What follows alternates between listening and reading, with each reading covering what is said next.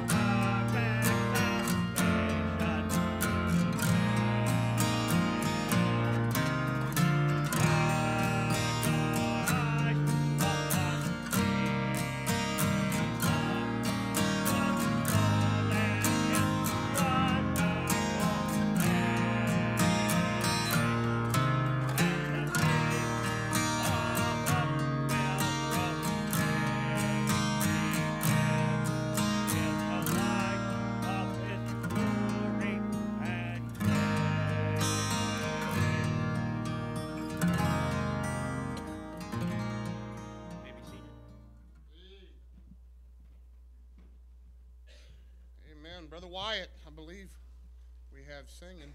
What are you singing today, brother? Andy? Andy. Andy walks with me, Andy talks with me. Oh, yeah.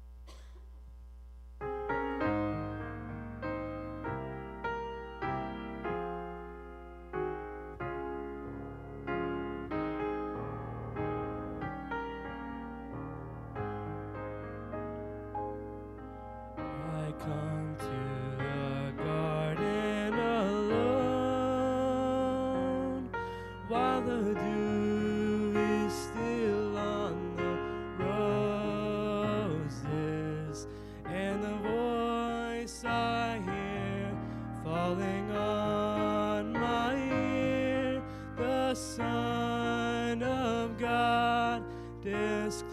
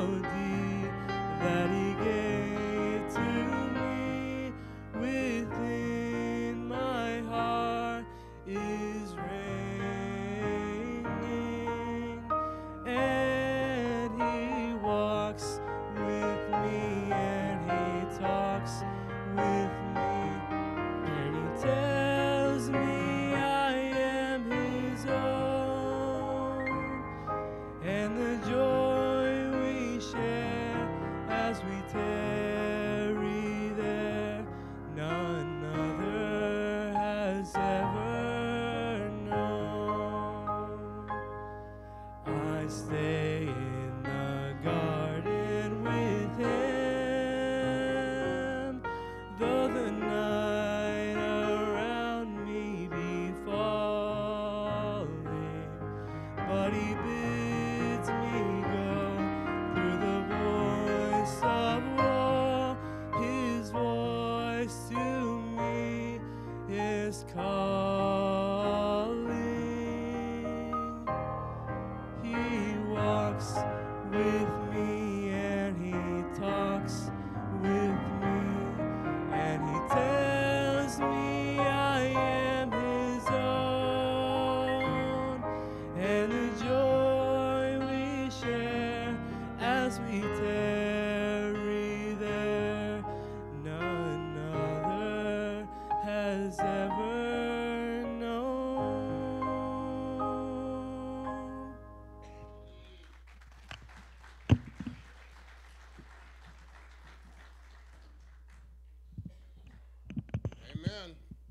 boy can sing, can he? Amen. With my help, he could be great. I could carry a tune in a bucket. But that doesn't mean I don't enjoy spilling it every once in a while. Amen. Hey, the Lord said make a joyful noise. He didn't say pretty sound. Amen. Brother, I didn't have time to update that, so just leave it on the logo. We're heading to 1 Corinthians 16. 1 Corinthians chapter number 16. You got a Bible? Hope you do. Grab one. If uh, you don't, in front of you, there should be one there. If you don't have a Bible, feel free to take that one home with you. All right? Unless somebody put their personal Bible there, in which case, don't take it home. All right? uh, 1 Corinthians 16. I want to read one verse. I want to read verse number 9. This is something that I, I have uh, had on my heart for some time. And uh, I'll go ahead and ask now, whatever gentleman, Mike, Josh, somebody help me out with the sound system. T- dial my mic down. I feel like I'm going to end up preaching. So, you never know. The Bible says this, verse number 9 For a great door and effectual is opened unto me, and there are many what? Adversaries. Let's pray. Heavenly Father, I'm grateful to be in your house this morning. And I, I know that out there we have all kinds of problems and trials and troubles and sorrows and issues, and most of us, most of us, left some of that stuff in the parking lot and they're in our vehicles waiting on us. They're going to be in the office waiting on us tomorrow. They're going to be at work. They're going to be there at the uh, clock in station. They're going to be there when we punch in to do our jobs Monday through Friday or Saturday if we're working OT. So, Jesus, I just ask for those of us that, that maybe have some things on our minds, on our hearts, some issues we are facing, valleys we're in the middle of. And Jesus, here is the reality of this, and I don't shy away from this truth or this fact that, that God, I am not capable as a human being of speaking into these matters. Your Spirit must accomplish that work. So, God, I would ask that, that you would please take me out of the way and hide me behind the cross. I don't have any desire to be seen, heard, or remembered. I want to be a vessel used to preach the word this morning. That is what is of impact. That is uh, what is of eternal uh, significance. Nothing that I have to say as a man is going to make a hill of beans difference. And God, if your spirit shows up and takes your word and wields that in our minds and our hearts, each of us in a unique way, each of us in, in, in exactly where we are, then we're going to be spoken to. We're going to be moved a little bit closer to where we should be versus where we are right now. I'd ask of you, God, that you'd accomplish that. Those that are torn down, build them back up some today. I'd ask those that are discouraged, encourage them. Those that have uh, frustrations, may you show us solutions from within the pages of your word, brought to life supernaturally by the working of your spirit. God, this I'd ask in that precious and powerful name of Jesus, expecting nothing but victory. Amen. The Apostle Paul is a weird character. Did somebody dial this mic down? No?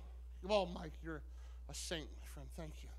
I appreciate that. Uh, the Apostle Paul is an interesting character. Uh, th- this is a guy who went all over the known world preaching and teaching the gospel of Jesus Christ. He, he did something that, that a lot of folks had no ability to do. Certainly, Paul didn't have that ability, but the Spirit of God worked through him in accomplishing that. You and I uh, have grown up in this, what I would refer to as, and this is going to sound crazy given where we are, but where we started in America was predominantly a Christian culture. That's where we started. We started with, with, with, this understanding that it's not a bad thing or a weird thing if you go to church. I was at a networking event of sorts, and by uh, networking, I mean it, I was supposed to be getting trained. And I was. It was a training session. And I'm meeting people from all over the place. And, and uh, I'm, I'm there because of the role that I now find myself in, uh, you know, down in the village. And so uh, th- that's why I'm there. And, and during breaks, I do what I do, which is talk to people. And I find them, I start talking to them, and this one guy comes up to me, strikes up a conversation. He goes, Man, you seem like an awesome guy. I said, Thanks, you might be too. I want to be honest. You know, he could be a weirdo. I have no idea. And, uh, and he goes, oh, let me ask you this outside of this, because, you know, uh, you're village mayor, that's not paying the bills full time. What else do you do? And I said, well, I have several businesses that I own and run, and uh, I also pastor a church. And he goes, you do what? I said, I pastor a church. He goes, You're a Christian. And I said, Yeah. And he goes, Huh. And I went, That puzzle you? And he goes, Yeah, you seem smart.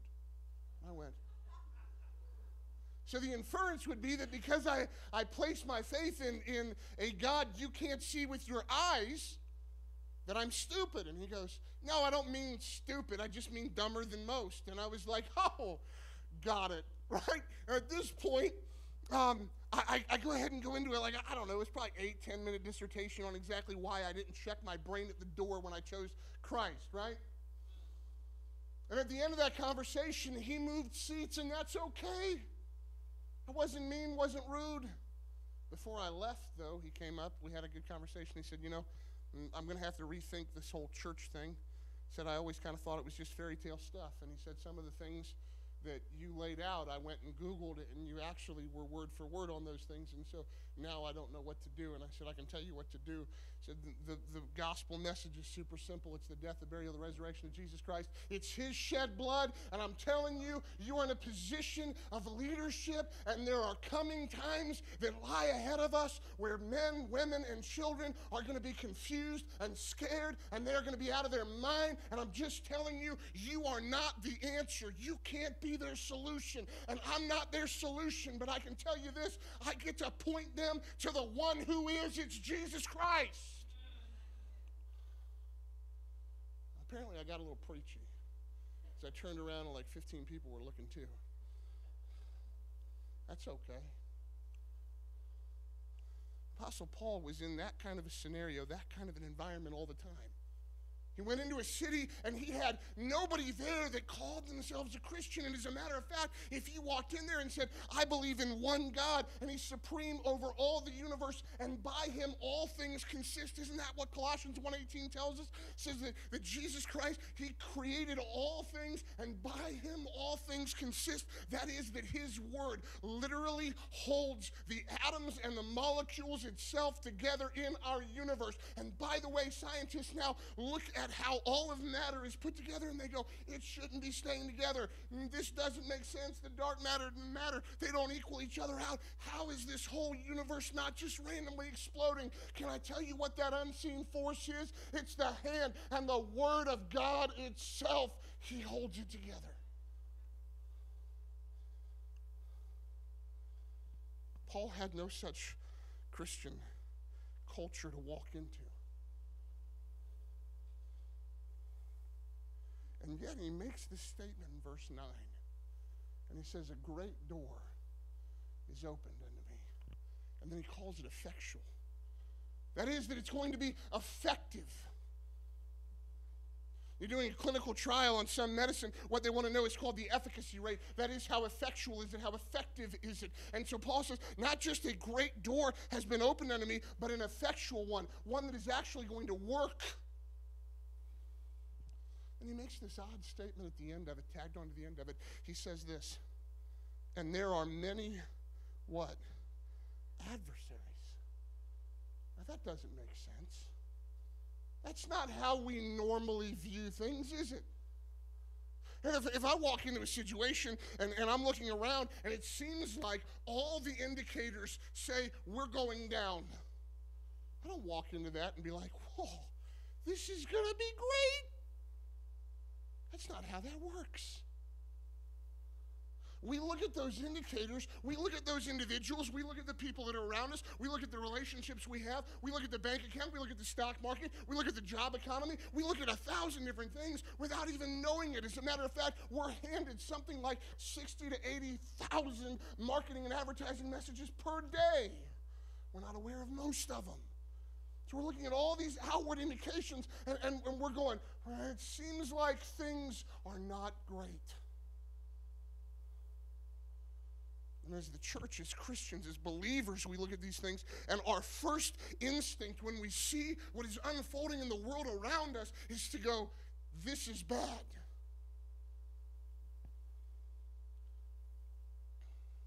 It's to hunker up to dig in and stay put and us four and no more, and hopefully we can somehow manage to navigate these waters, but I don't know.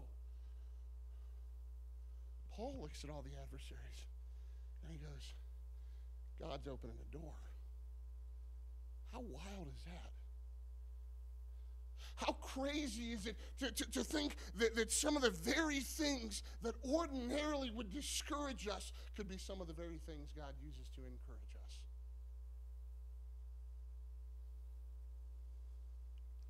What if some of the, th- same things that tear us down ordinarily are some of the same things that God uses to build us up? See, with God, He views things differently than we view them. You guys aware of that? What, what we see as, as bad news, God can look at and go, oh, yeah, I'm going to use that thing for something great. When I was younger than what I am now. My grandma, who I don't think is here today, pray for her. She's not feeling well, I think, and the cold would be dangerous for her lungs, so she stayed home, and I'm glad. But we'd go over to Grandma's house, and I never minded that because as a little boy and as a big boy, Grandma always had one of a couple things in her house. Ordinarily, she had cookies, good cookies. I'm not talking about the Nestle Toll House stuff. And listen, I'm not knocking modern day cooking. I'm just saying, man, a homemade biscuit isn't the same thing as the Pillsbury Doughboy. I love that dude. He just ain't as good as grandma, is what I'm trying to say. Most every Sunday now, it sounds like World War III going off. Everybody cracking, you know, in the morning, cracking them cans open on the side. Except for some of us that have never used it before watched a video online on the YouTube Shorts thing, and this, and this gal had popped the very top of a biscuit can off, and she is trying for all she's worth to get the biscuits out of the back end. And I still wanted to be able to reach through my screen and go, just hit the side, honey, hit the side. You know, it'll pop and the biscuits will be out. And she's like, this is a terrible experience. Grandma had cookies. Grandma sometimes had pineapple upside down cake. She'd have that an awful lot. That was good stuff. Grandma always had candy, so I always enjoyed going over there. What Grandma didn't have was modern toys. She didn't have a lot of toys to play with. She had the old stuff that Dad had, and Dad probably thought it was lame when he was a kid, and I definitely thought it was lame when I was, uh, you know, three, four, five. So I would oftentimes sit there and, and I would do as much stuff as I could, but grandma was of the habit of getting a switch if you misbehaved. So sometimes you just ended up bored, is what I'm saying. And I remember sitting there just staring at the wall, trying to figure out how long it would take the plant to grow. I'm like, wow, just spaced out, you know. I remember looking up and grandma's got this big wooden hoop and, and she's stabbing a needle through it. And I was like, well, I like to stab things, you know, like, so now I'm interested. Sharp object danger. Something about danger attracts a little boy. You guys know what I'm talking about? If you've ever raised, man, like we're living in a culture that go, little girls are the same as little boys. You've never raised either. No, you have not. They are not the same. Caleb looks for ways to hurt himself. He doesn't call it that, but he looks for ways to hurt himself. Little girls, little Felicity, she's tucking her babies in and getting mad at brother because she's going to wake her babies up from their nap. Meanwhile, Caleb's trying to figure out how to spider monkey his way up to the top of the steps and drop down like Spider Man. Right? They're just not wired the same. So I'm, I'm looking at that and I see needle, I think dangerous, and I'm looking at this thing that she's building. It's just this mess of colors and thread, and it's all stringy, and it's all, it just looks like a blob. And I looked up at, at my grandma and I go, wow, grandma, that is super ugly.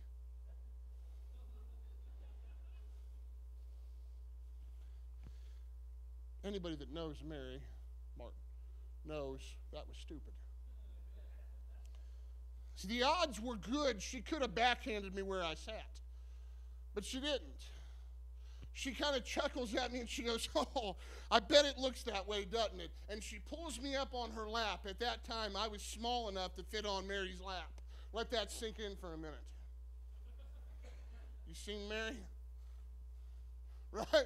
Uh, she pulls me up on her lap and she goes, Look at it from my side. And all of a sudden, I see this beautiful, there's all this water and these mountains in the background, and there's pine trees up in the front. And, and, and man, she's stitching all this stuff. She's working on a pine tree piece that was going to be right up front. And I went, Wow, that's actually really pretty. And she goes, I know. You've got to look at it the right way. See, you and I see things sometimes not from God's side we look at the, at, the, at the world going on around us. We look at every indication and everything that we see going on around us, and we go, God, this is a mess. It's a nightmare. I can't log on to social media. I can't check out Google. I can't hit any kind of a news app, and I see all kinds of stuff that are going on around me, and I don't get it. It looks so messed up. And I'm telling you, if you're willing to go, God, I don't want to see this as I see it. I want to see it as you see it. God will pull us up a little bit higher in our perspective. It'll show it to us from his point of view. And I'm telling you, when you see it how God sees it, it's not at all the same thing.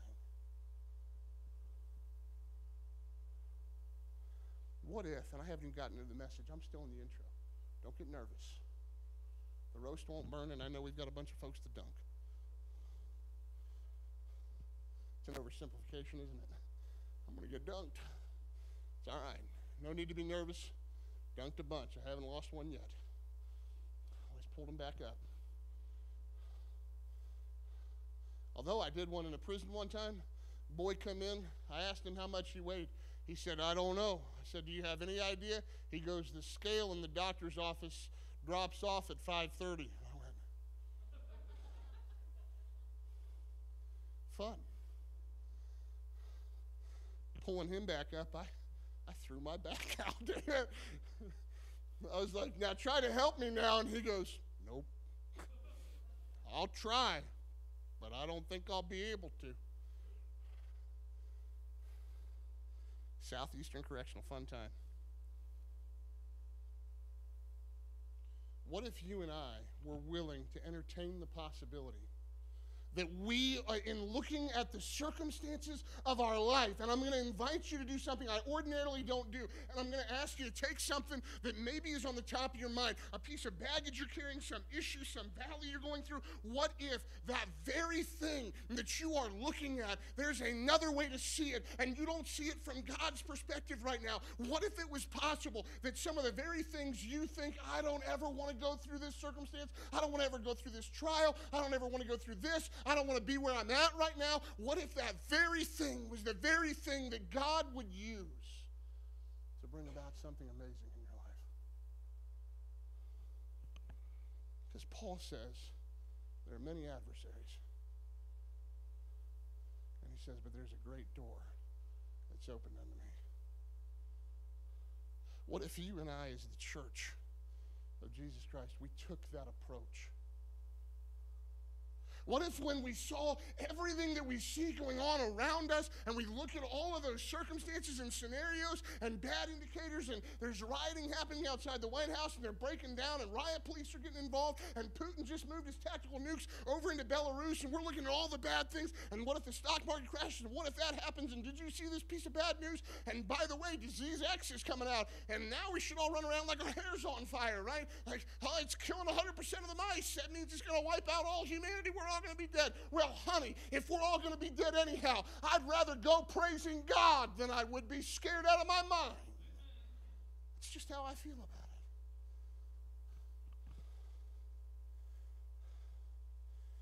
I'm telling you, I believe that we as a church, we as the church of Jesus Christ across the country, across the world, as believers, have an opportunity a great door that I believe God's opening for Him to move, for Him to work. I believe He wants to do it in my heart and in yours. I believe He wants to do it in my life and in yours. See, the very things that are driving people absolutely bonkers about the world means they are now hungry for some things they haven't had to be hungry for before. Let me explain what I mean. Ordinarily, my wife feeds me well. Anybody doubt that? She does. She's a great cook. I didn't have to suffer getting this fat. Some people are like, it's glandular. No, I enjoy eating, all right? Come back, first day back from our honeymoon, she made a meal. She cooked 10 pound bag of potatoes into homemade mashed taters and made hamburger gravy to go over top of it. And then she wanted me to eat six pounds of it to show my love. Okay? I go to a place the other day. I'm down meeting a friend.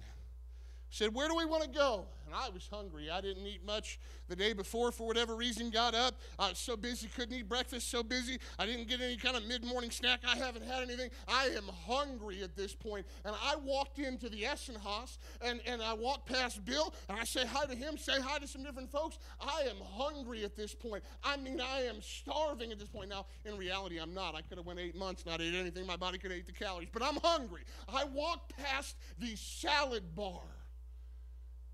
And I went, that looks good. And I'm doing the math in my head, and I'm scanning the restaurant, and I'm going, there's at least 25 people in here, and at least two thirds of them aren't eating, which means they haven't ordered yet, or they are they have ordered, and the cook's bad. I'm not going to get my order in time enough to get them there, which means I'm going to have to wait an, an additional 40 minutes. So mm, gravy and taters and all the fixings, 40 minute wait, salad bar I can eat right now. You know what I ate? The salad bar. I came home and Miss Amy said, What did you do for lunch? I said, I ate the salad bar. She said, Are you sick? I said, No, I was hungry. On the flip side of that coin, one time in my life, I've been to a Brazilian steakhouse. You go to a Brazilian steakhouse, they give you a paddle. I look at this paddle and I go, I'm not playing ping pong, I'm here to eat meat. The waiter looks at me and he goes, No, no, no. It's a green side and a red side. If that side is green, as we're coming out with all different kinds of meats, I mean steak and ribeye and, and, and ham and I you name the meat, we've got it. We've even got some exotic cuts. If they see a green paddle up at your spot, they'll come and offer you a hunk of whatever they've brought out. And I said, Son, do you have a double sided green paddle? I don't want to accidentally be eating this and flip it over the other side and miss something. He goes, No, we don't. I said, All right, we'll take the chance. And he goes, Okay. Two hours in, I did something I never thought I'd do. I flipped that paddle over. It was about the, I, I ate four steaks. I don't know how much. I, I ate plate after plate after plate after plate of food. And at some point, the guy is discouraged. You can see the manager going, We should have gave him rolls. Why isn't he eating the rolls? You know, like, should have fed him up with something else. I got so stuffed that I took that paddle and I said, I'm done. We live in a culture in America that has been so fed up. So, and we have had it so, so, so good. We really have. America, land of the free, home of the brave. You were willing to work hard. You could make a living. You could carve something out. Nowadays, we've got kids that are being forced to either uh, partner up, and man, I got a roommate or two or three roommates just to be able to make uh, the average mortgage payment, which the average mortgage payment across America, not true in our area, but across America is more than $2,000 a month. Means $24,000 a year is going to be coming out just for you to make a mortgage payment on average. I'm telling you, financial hard times are certainly upon us in this country, and they are globally. It's going to make us hungry, it's going to make the culture hungry. We have chaos that is spread everywhere. We've got wars and rumors of war, and people are hollering about Yemen and everything from Israel. And mm, by the way, and some of this stuff, most of this stuff, is biblical in its orientation. Which leads me to know that when people are struggling and hungry for internal peace, peace that the world cannot give them, they get told, well, read this book and, and, and you'll, you'll feel at peace. We'll just make this move in your life and you'll feel at peace. Well, you just got to get healthy. You know what your problem is? Your body's too alkaline. I had somebody tell me that. And I'm preaching at a church, and they said, "You know why you're fat?" And I was like, "Cause I eat too much food." And they go, "No, cause your body's too alkaline." I said, "Well, I'll pop a nine volt out. We'll balance this thing out."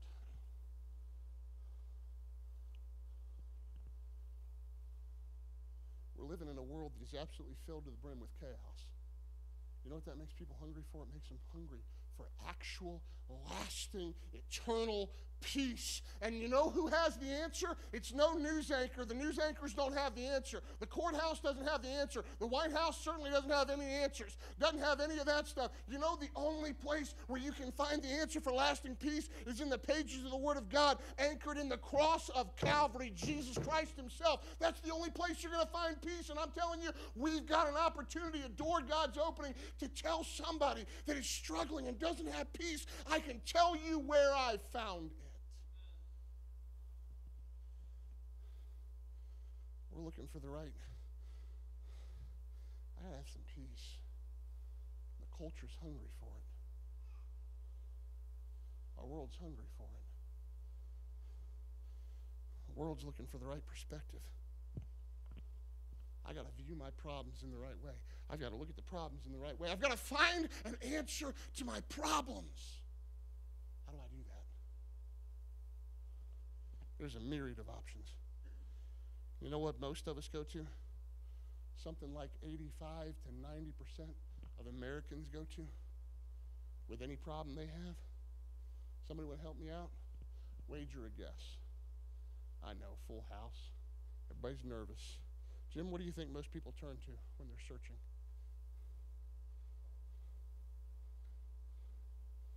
That's a good old school answer. That, that is what it used to be. Shoop, you in here?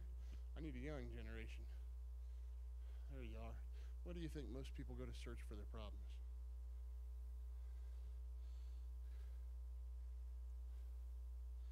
You know what they do? They Google it.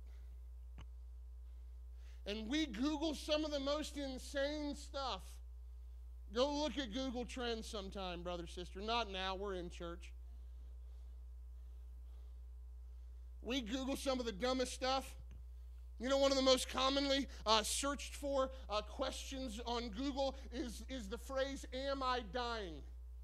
Honey, if you're dying, you shouldn't ask a bot. It's not alive, it doesn't know. Am I dying? Do I have cancer? Uh, we, we, Google some of the most insane stuff as though, like, Google is going to somehow magically replace a doctor who actually cares about human beings, is a human being, and went through between 8 and 16 years of schooling to get certified to practice medicine, which means they're not good at it. It just means they're better than most. We're Googling that. Man, I, I am having so much anxiety. I am freaking out in my mind. You know what I need to turn to? I need to turn to an inanimate object that has no context for my life whatsoever, condense my entire problem down into a six word statement, three of which aren't actual words, they're just abbreviations. LOL. And I will find from this magic box called the iPhone or an Android, some of you Android people, from the Android all of the answers to my problems, I will find here the meaning of life, the source of peace. I will find here the right perspective on my problems because somewhere, Oprah or someone has written a book, and they will have the answers that I seek. You know what you find? A bunch of empty promises. You find a bunch of empty promises. If I can just switch this circumstance in my life, if I can just manipulate this piece so that it goes in the right, and I'm just here to tell you it doesn't matter if you had some kind of a magic wand straight out of a Mickey Mouse movie and you could you could zap whatever it is you want to zap, whatever circumstance, whatever mind, if you could manipulate and control everything, what you would find is that humans are lousy at being God.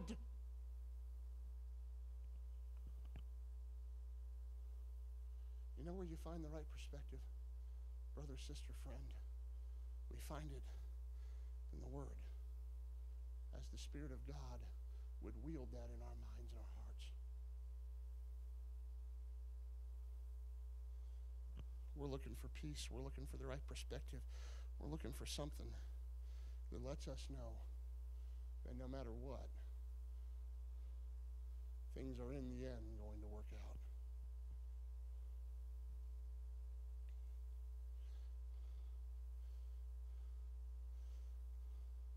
Little Caleb was not quite three. I didn't think he could pull the door to that porch. At the time, we were living over in a little parsonage right there, a little trailer. And I didn't think he could pull open that back porch door, and I was out there with a Fiskars axe splitting firewood. I was talking on the phone while I was doing it because men, we think we can multitask. We cannot. He pulled that door open. It's frozen and hard to get open. And as I was talking, I split a piece of wood and I'm talking on the cell phone. And I bend over with that axe in my hand and I feel something ever so gently get bumped. And I heard Caleb cry. And I spun around and that tip of that Fiskars axe had come down and just dunk right under his eye. His entire face is covered in blood. I hung up on my boss. Had to explain that one hung up on my boss, shoved my phone in my pocket. I snatched up Caleb. I took a piece of my shirt, ripped it off, and then just stuck it on his face. Amy's walking out of the house. And she goes, Have you seen Caleb? And I went, Yep. And she goes, Is he okay? I said, Nope. I moved the rag, and she goes, and I was like, Get in the car. Somebody else will drive. I'm holding this on there, and he is freaking out, and he's crying, and I am handing him things like, Daddy's got you. Daddy's got you. I'm handing him stuff like, it's going to be okay, son. And my heart's breaking. Because, man, I just wounded my son and I didn't mean to. We pull up into the Millersburg uh, ER parking lot and they said, registration's down there. I said, registration, my hind leg. I'll give you my money later. I'm going in that door.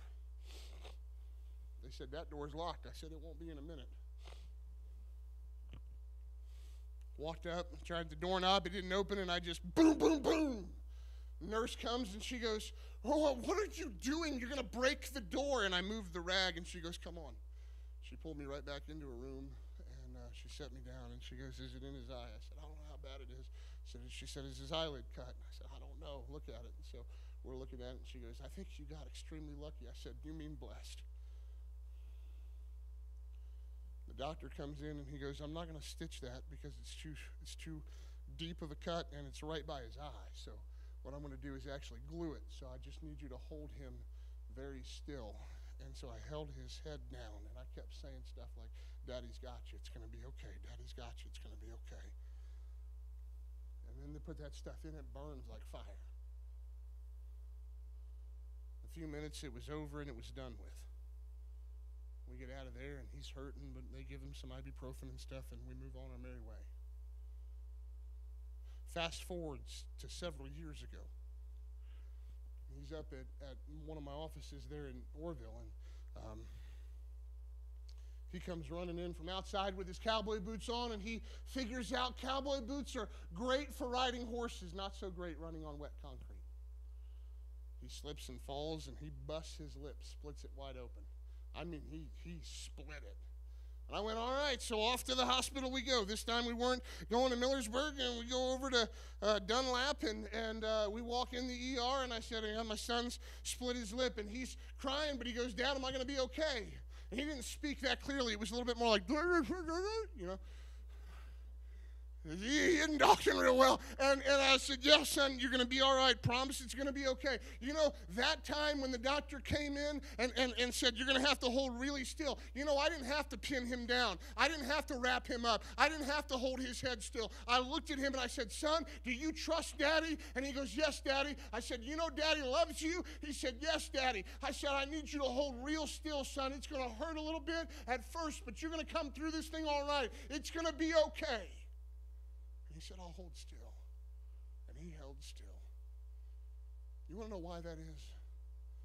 Because he was old enough. He was at a place where he could receive the promises of his daddy. We go through these crazy times in our life, and our world is in the craziness that, that it's in. And we are hearing of wars and rumors of wars and stock market crashes and economy, and we've got an election year. Have mercy. 2024 is going to be an election year, it's going to be a presidential election year. Are you ready to hate everybody yet? Like, that's where we're at, that's where we're in for. And I'm, I'm here to tell you that, that at the same time, we see all the chaos and the trouble and all the issues in our personal life and on the national scale and on the community scale and on the global scale. I'm here to tell you what we have that makes us rock solid as believers is not enough money in the bank, not some underground bunker, not, not, not some stockpile that's going to make us feel safe. What we have that gives us rock solid confidence is the promise of a Father in heaven who says, no matter what, I'll work it out together for good. And when you and I are willing to lean into those promises, the world looks at our life and goes, You've got something I desperately need. So are we in for a wild ride? You bet. You bet. But I don't see this thing as a negative. I see it as a positive because the world's hungry to be moved. The world's hungry for some peace. A peace that doesn't need to change the circumstance. It has peace regardless of it. Doesn't matter whether the wind is blowing or not. It's hungry for a perspective that is good and truthful and right. It's hungry for a promise that has more weight and more truth and more reliability than something spouted on a campaign trail. The promise of a good and loving Father who says, no matter what, I'm here.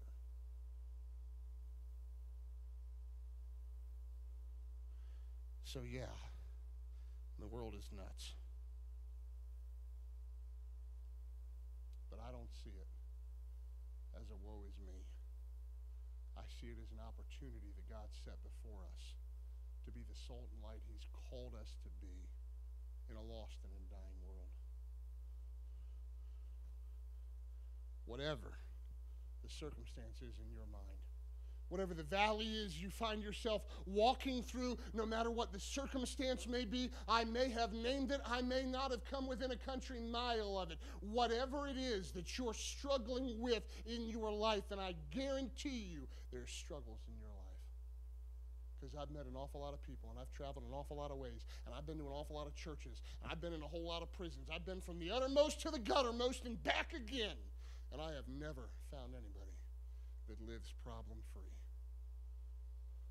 I've met the poor, the poorest of the poor. I've been the poorest of the poor. I've met the richest of the rich. And I'm here to tell you, none of them live problem free.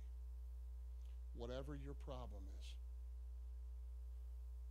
relationally, financially, mentally, spiritually, emotionally, mm, related to your job, related to your children, related to your kids, related to your spouse, related to extended family member, related to old friends, related to you name it, whatever that might be.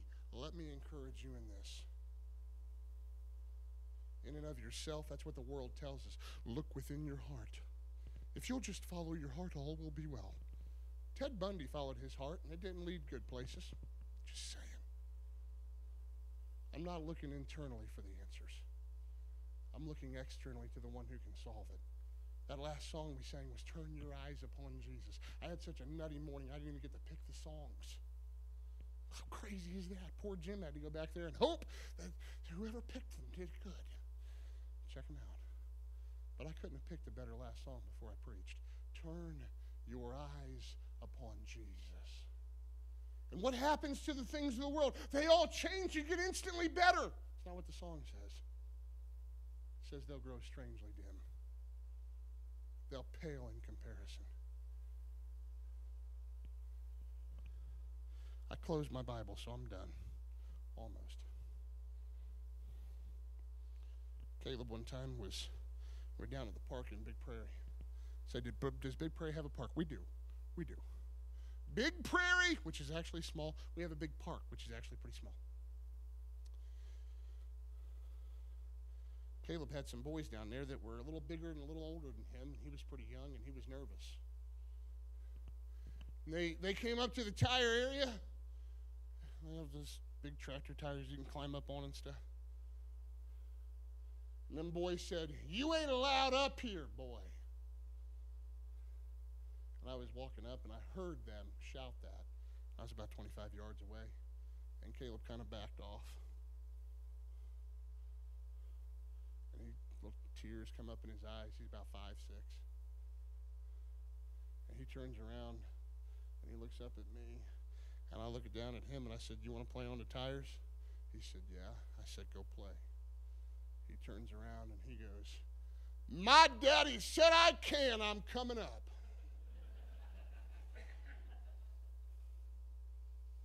Boy looked at me and I looked at him and I went, and he goes, he can play. And I was like, I know, I know. What if you and I stopped looking so much at the problems which make them huge and we caught a glimpse of our Savior? If we turn our eyes on Him, then our problems seem awfully small. What happens if you and I walk out of this place, face our problems, and go, My daddy said I'm more than a conqueror. Here I come.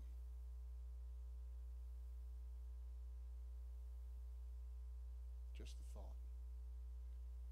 As heads are bowed, eyes are closed, and those that are getting baptized can head to the back and get ready. In a moment, I'll do the same. You can head to the bathroom, guys, get changed.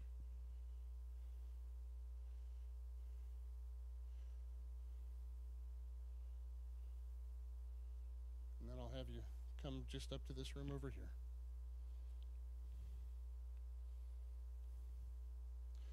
I don't know the context of your life. I don't know what problems you're facing. I don't know what issues you have.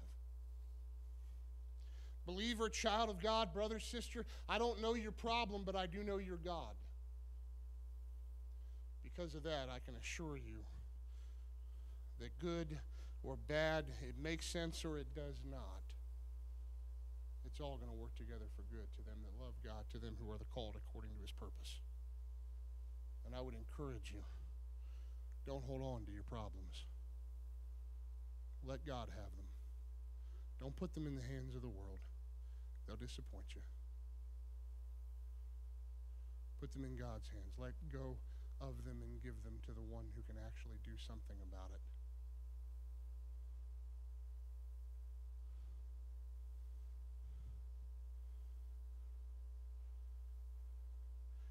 Heavenly Father, I would come before you this morning.